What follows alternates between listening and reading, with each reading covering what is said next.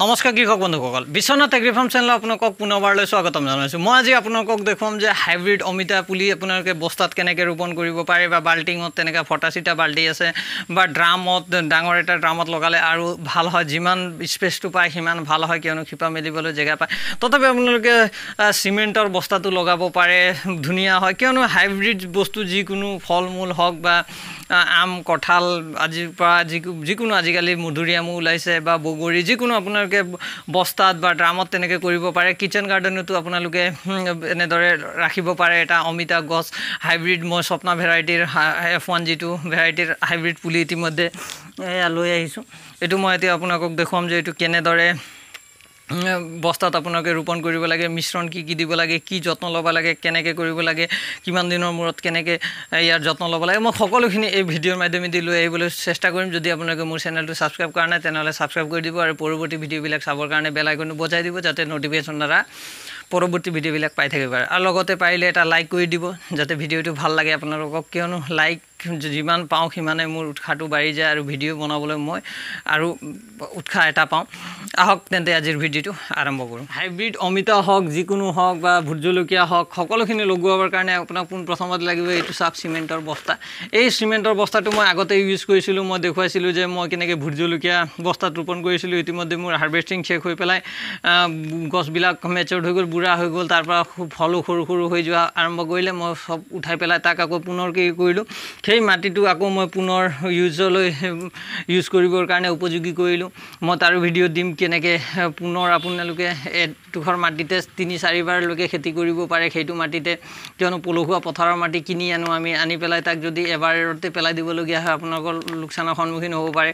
এই বস্তাটো মই আগতে ইউজ কৰিছিলোঁ। ভোট জলকীয়াত মই পুনৰ আকৌ ইউজ কৰি আছোঁ। বস্তাৰ তলত দিবৰ কাৰণে এয়া চাওক মই পাৰিলে শুকান পাত দিব লাগে যিকোনো পাত আপোনালোকে দিব পাৰে গছৰ পাত এতিয়া কিয়নো পাত ইমান খৰা ছিজন নহয় পাত নাই সেইকাৰণে মই কি কৰিলোঁ কলৰ পাত এয়া চাওক এইটো কলৰ পাত হয় কলৰ পাত মই এনেদৰে তলৰ অংশত দি দিছোঁ অলপ যাতে পানীটো কি হয় মাটিটো বৈ নাযায় পানীৰ সৈতে আৰু তলত কিয়নো ফুটা আছে যিহেতু বস্তাৰ তলত ফুটা দি আছে এয়া চাওক মই মাটিত ইয়াত মিশ্ৰণত যিটো দিছিলোঁ ইয়াত মই প্ৰায় পঞ্চাছ শতাংশ কেঁচু সাৰ দিছোঁ তাৰ লগত অলপ বালি দিছোঁ ইয়াক অলপ নৰম কৰিবৰ কাৰণে মাটিটো। নহ'লে আপোনালোকে কক'পিটো দিব পাৰে মই কক'পিট দিয়া নাই বা এনেকুৱা ধানৰ ভুচি যদি আছে আপোনালোকে ধানৰ ভুচিও দিব পাৰে।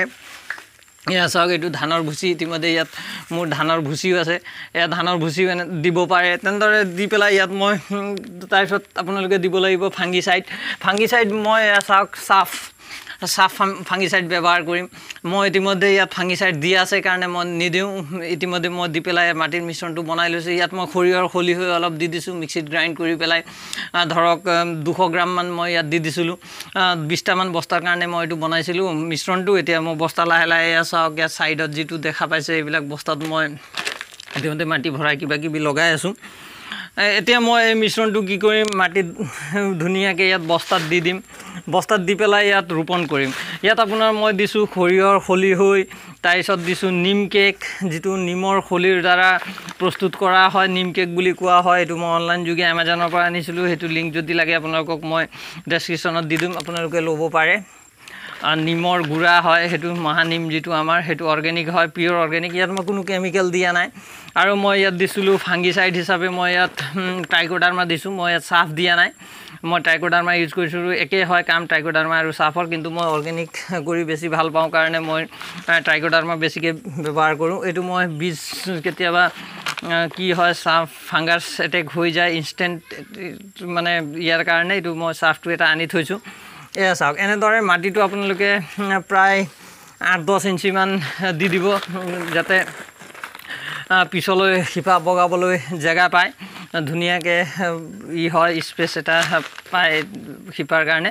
চাওক এনেদৰে মাটিটো সম্পূৰ্ণ শুকুৱাই ল'ব। মাটিটো আপোনালোকে পাৰিলে তিনি চাৰিদিন একদম ৰ'দত মেলি দিব ৰ'দত মেলি পেলাই তাৰ যিবিলাক জীৱাণু থাকে বীজাণু থাকে অলাগতিয়াল লাগতিয়াল চব মৰি যাব। কিন্তু পুনৰ সেইবিলাক লাগতিয়াল জীৱাণুবিলাক আমি যিহেতু গোবৰ সাৰ কেঁচু সাৰ পচন সাৰ এইবিলাক ব্যৱহাৰ কৰোঁ তাৰ পৰা আপোনাৰ মাটিলৈ আহি যাব আৰু মাটিৰ আপোনাৰ উৰ্বৰা শক্তিটো বাঢ়ি যাব।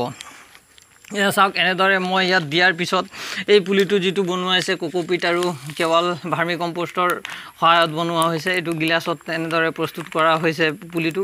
খুব ধুনীয়া শিপা আহিছে এই পুলিটোত। আপোনালোকে ইমানটো হ'লে ট্ৰান্সপ্লাণ্ট কৰিব পাৰে যিকোনো গছৰ পুলি। এয়া চাওক পুলিটো সুস্থ সবল একদম ধুনীয়া হৈ উঠিছে কোনো বেমাৰ আজাৰ নাই। এয়া চাওক ইয়াত কোকোপিট ই আছিলে। ইয়াত আপোনালোকে এনেদৰে মাজত ঠিক মিডিল অংশত চাই পেলাই ইয়াত ৰোপণ কৰি দিয়ক এনেদৰে। ৰোপণ কৰি পেলাই ইয়াক কি কৰক আপোনালোকে? অলপ মাটিটো এইটো হেঁচি দিয়ক।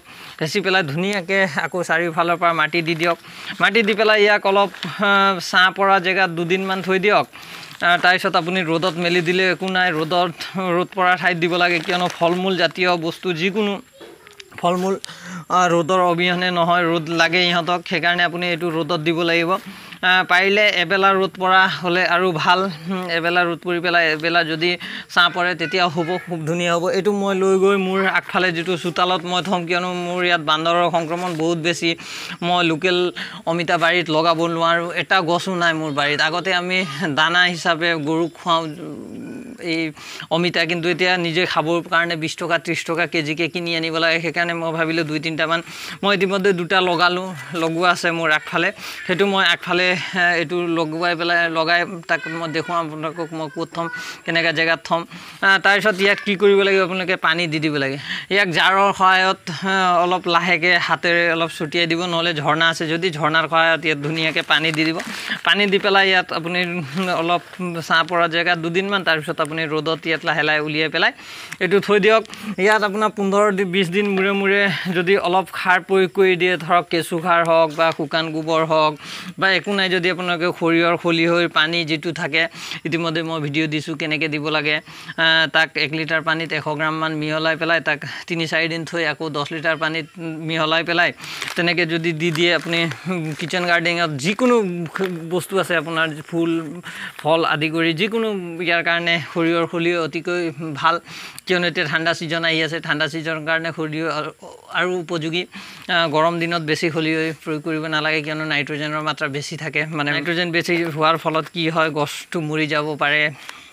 বা তেনেকুৱা প্ৰব্লেম আহিব পাৰে। এতিয়া কিন্তু আপোনালোকে খলিহৈ ব্যৱহাৰ কৰিব পাৰে। ইয়াত মই বেছিকৈ খলিহৈ ব্যৱহাৰ কৰিম বা আপোনালোকে কিটচেন কম্প'ষ্ট যিটো সেইটো মই দেখুৱাম আপোনালোকক কেনেকৈ প্ৰয়োগ কৰিব লাগে কেনেকৈ বনাব লাগে সকলোখিনি ভিডিঅ' আপোনাৰ লোকৰ মাজত লৈ আহিবলৈ মই চেষ্টা কৰিম। এয়া চাওক মই ইতিমধ্যে ইয়াত পানী আনিছোঁ। পানীত জাৰ যদি আপোনাৰ ঝৰ্ণা আছে ঝৰ্ণাৰ সহায়ত দি দিব। নহ'লে জাৰৰ সহায়ত আপোনালোকে সম্পূৰ্ণ তিয়াই দিব। সম্পূৰ্ণভাৱে পানী দি দিব যাতে তললৈকে পানী পাই যায়। এবাৰ সম্পূৰ্ণ পানী ভিজাই দিয়াৰ পিছত আপোনালোকে দুদিন বা এদিন মূৰে মূৰে এইটো চাই পেলাই কিমান কি শুকান হৈছে কেনেকুৱা হৈছে শুকাইছে পানী কিমান লাগিব প্ৰয়োজন অনুসৰি আপোনালোকে পানী দিব পাৰে। কোনো ইয়াত প্ৰব্লেম নাই। এইটো তিনি মাহৰ পিছৰ পৰা ইয়াত ফুল অহা আৰম্ভ হ'ব। চাৰি মাহৰ পৰা চাৰি পাঁচ মাহৰ পিছত মই ইয়াত ফল পাম। ফল মই ছিঙি পেলাই আপোনালোকক দেখুৱাম এই ফলটো কেনেকুৱা হয়। যদি আপোনালোকে মোৰ ভিডিঅ'বিলাক আগে পিছে চোৱা নাই তেনেহ'লে চেনেলটো ভিজিট কৰিবলৈ পাৰে। আৰু যদি ভিডিঅ'বিলাক ভাল লাগে তেনেহ'লে চেনেলটো ছাবস্ক্ৰাইব কৰিবলৈ নাপাহৰিব। ইয়াকে কৈ মই আজিৰ ভিডিঅ'টো সমাপ্ত কৰিলোঁ। ধন্যবাদ। জয় অসম।